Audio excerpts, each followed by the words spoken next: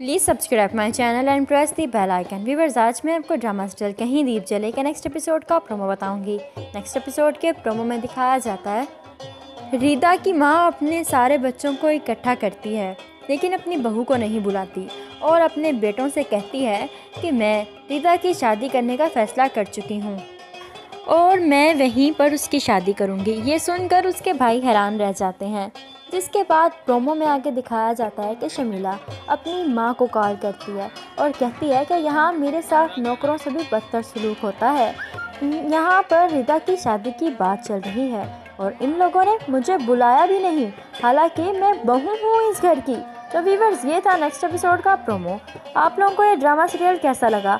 अपनी कीमती राय का इजहार कमेंट सेक्शन में ज़रूर कीजिएगा। हमारी वीडियो पसंद आए तो लाइक करें और हमारे चैनल को सब्सक्राइब करें। Thank you